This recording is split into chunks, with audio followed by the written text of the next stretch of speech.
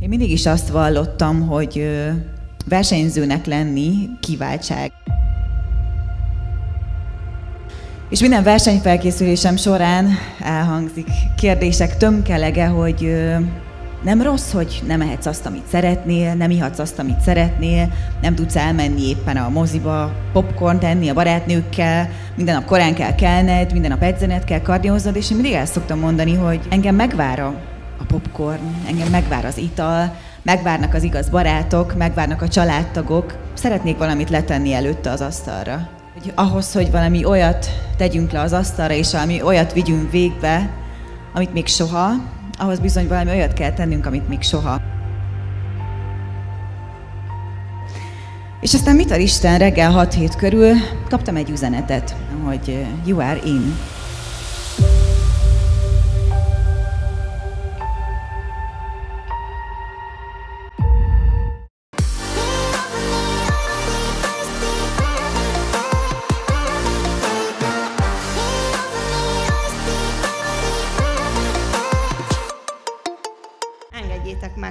Bemutassam nektek Ocella Esztit.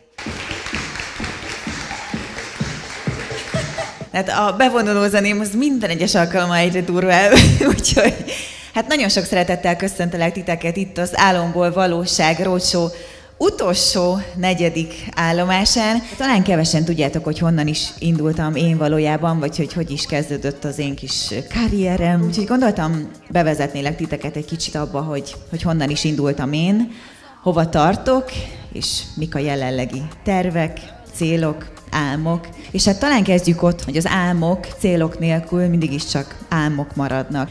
És talán a sport, a fitness, a testépítés, a profi versenyzés volt az első olyan dolog, amit amikor kitaláltam és megálmodtam, akkor célt is párosítottam hozzá.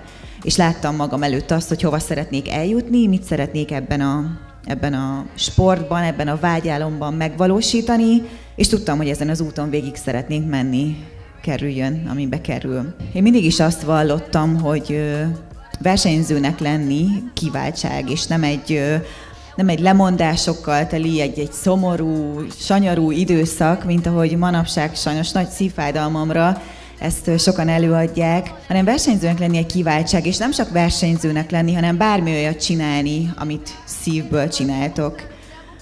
És minden versenyfelkészülésem során elhangzik kérdések tömkelege, hogy nem rossz, hogy nem ehetsz azt, amit szeretnél, nem ihatsz azt, amit szeretnél, nem tudsz elmenni éppen a moziba, popcorn tenni a barátnőkkel, minden nap korán kell kelned, minden nap edzened kell, kardióznod, és én mindig el szoktam mondani, hogy engem megvár a, popcorn, engem megvár az ital, megvárnak az igaz barátok, megvárnak a családtagok. Szeretnék valamit letenni előtte az asztalra.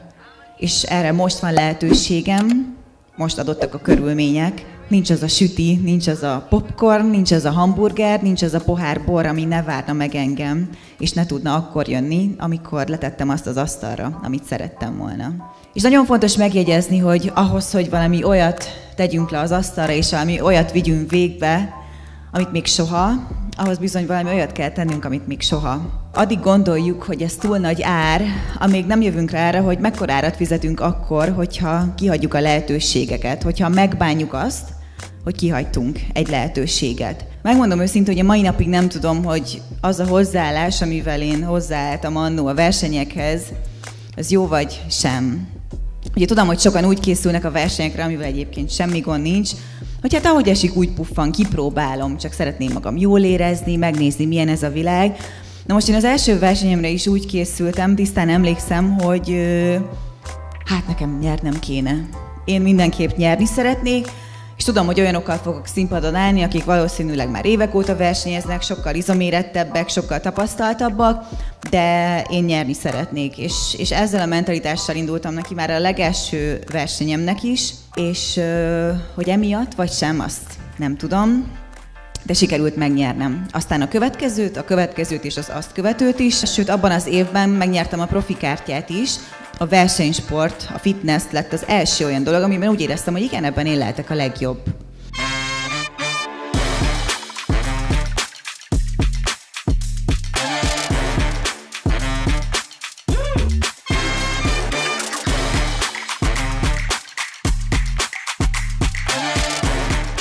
Profi szezon egészen más, a profi liga egészen más, és addigra azért már megtanultam egy pár dolgot.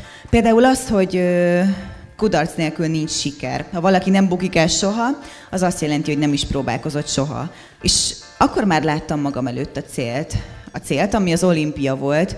Ugye sokszor szoktátok kérdezni, hogy mi a legnehezebb egy versenyfelkészülésben. A diéta, az edzés, a kardió, ezek egyébként is az életem részei. A legnehezebb mindig az, hogy az élet akkor is megy, az élet nem áll meg, és a rossz dolgok nem mondják azt, hogy jó, hát akkor most még megvárjuk ezt a pár hónapot, és akkor csak utána jövünk majd. Nem, ezek a dolgok ugyanúgy megtörténnek, és ilyenkor nagyon-nagyon nehéz fókuszban maradni, nagyon-nagyon nehéz nem szem előtt éveszteni a célt.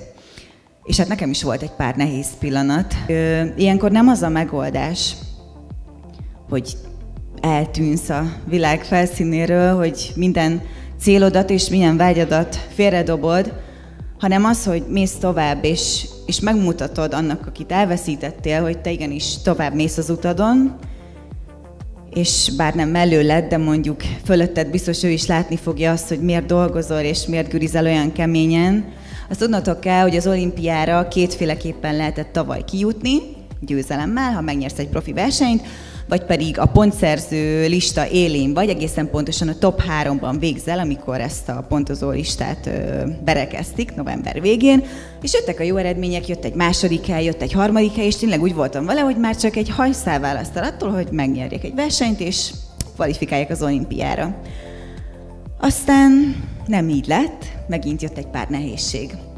Ugyanis elkezdtem rosszabb eredményeket kapni, elkezdtem negyedik helyen állni, ötödik helyen, és aztán egy picit így alább hagyott a motivációm. És akkor jött egy nagyon-nagyon érdekes verseny Prágában, és egy nagyon-nagyon jó eredménnyel kecsegtetett a dolog, már tudtam a végén, hogy a top háromban leszek, viszont nem tudtam, hogy első, második vagy harmadik. Úgyhogy vártuk a végeredményt, az utolsó összevetést. És az egyik lánynak, aki ugyanígy benne volt a top háromban, de nem tudtuk, hogy hanyadik lesz, elszakadt a bikinie és teljesen kétségbe esett, mondta, hogy itt, itt a vége az egész életének, nem fog tudni felállni, és ö, nálam két bikini volt, mi van, ha az egyik elszakad, ezért vittem magammal még egyet.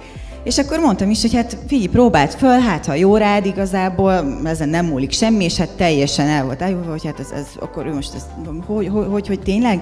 Mondtam, hogy persze, próbáld föl.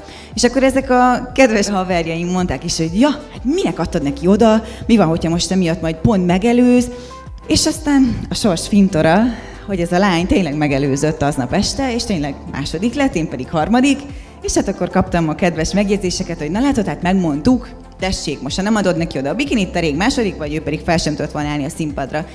És mondtam, hogy hát ez lehet, hogy igaz, Viszont van egy jó pár dolog olyan az életben, jó pár olyan dolog az életben, ami után nem rögtön várjuk a feedbacket, nem rögtön várjuk a jó dolgot, hanem majd egyszer csak jön. És mit ad Isten?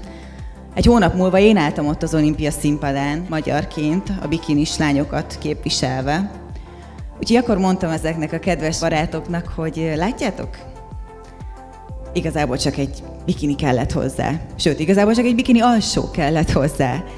Úgyhogy én tényleg hiszek ebben, hogy bármilyen kis apró jó dolgot teszel az életben, bármilyen területen, mindig téged fog igazolni, és attól függetlenül, hogy vársz-e valami jó dolgot cserébe, vagy nem, biztos, hogy kapni fogsz.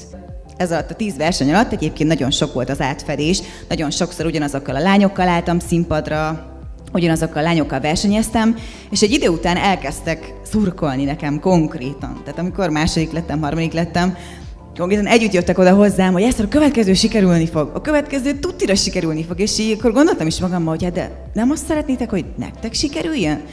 És ö, egészen megható és egészen új keletű érzés volt látni azt, hogy mennyire tudnak örülni, még itt is, amikor ekkora a tét más sikerének. Úgy mentem az utolsó versenyemre, hogy itt most áll vagy bukik a dolog. Ugyanis benne voltam a top három ö, legtöbb pontot összegyűjtő lányban, Viszont volt még egy verseny Amerikában, az enyém előtt egy nappal, és tudtam, hogy ha az amerikai lány jól szerepel, akkor nekem valószínűleg annyi.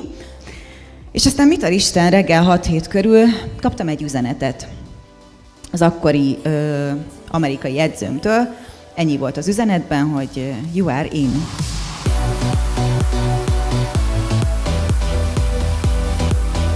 Így viszont nem lesz stabil a pozíciónk, és félő, hogy kicsúszik a, mögülünk a pad, az ágy, a kanapé, és annak végzetes, beláthatatlan következményei lehetnek. Végig sarokból dolgozunk. Egy, ez egyébként az összes farizon fókuszú gyakorlatnál igaz.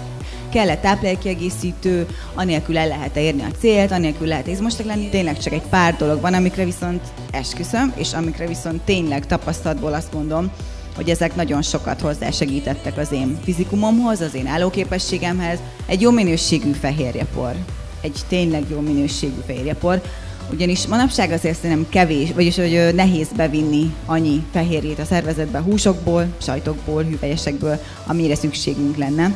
Egy jó minőségű BCA, glutamin az izmok regenerálódásához, ugyanis egy, vannak olyan aminosavak, amiket a szervezetünk elő tud állítani magától, és vannak olyanok, amiket nem, ezeket jó, hogyha pótoljuk. Manapság nem tudunk bevinni annyi zöldséget és annyi gyümölcsöt, hogy ez fedezze a napi vitamin szükségletünket. Egy jó multivitamin, egy jó magnézium, egy kultíz, ami különösen fontos egyébként a hölgyeknek különösen, egy kalcium, egy C-vitamin,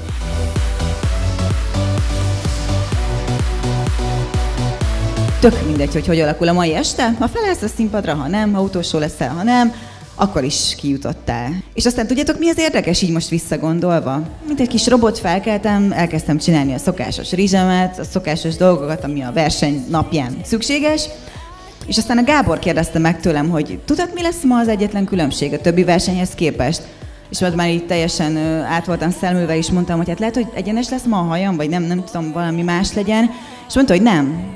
Ez lesz az első olyan verseny, ahol mindenféle elvárás, mindenféle nyomás és mindenféle negatív gondolat nélkül fogsz felállni a színpadra. És akkor mondtam, hogy igen, tényleg.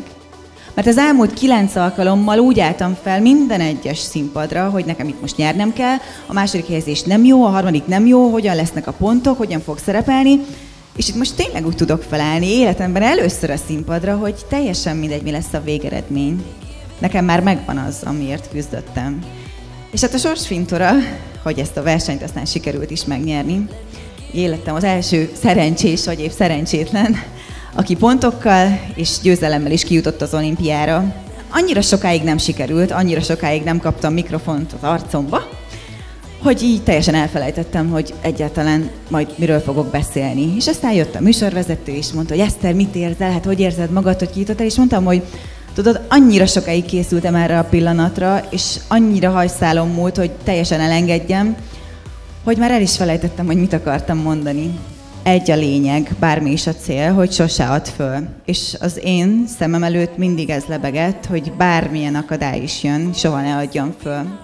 A másik pedig az volt, ami így egyből az eszembe jutott, és talán még az eredeti beszédemben is benne volt, de erre nem esküdnénk meg, hogy nem csak enyém ez a díj, nem csak enyém ez az olimpiai kvalifikációs tábla, nem csak enyém ez az érem, ez a kupa, hanem mindenki, aki segített engem az utamon. Minden barátnőmé, minden családtagomé, a barátomé, és mindenki, aki csak egy jó szóval azt mondta, hogy Eszter, ne add fel, menj tovább, mert rengeteg-rengeteg üzenet jött. Úgyhogy nektek is ezt tudom mondani, hogy bármi is a célotok az életben, sose adjátok fel, mert a végén nem az számít, hogy ki nyert, kivitte haza a legtöbb pénzt, kivitte haza a legfényesebben csillogó érmet, hanem az, hogy, hogy nem adtátok föl. Biotech USA. The Feeling of Success. További inspirációkért kövess minket Facebookon és Instagramon, iratkozz fel YouTube csatornánkra és látogass meg a weboldalunkat.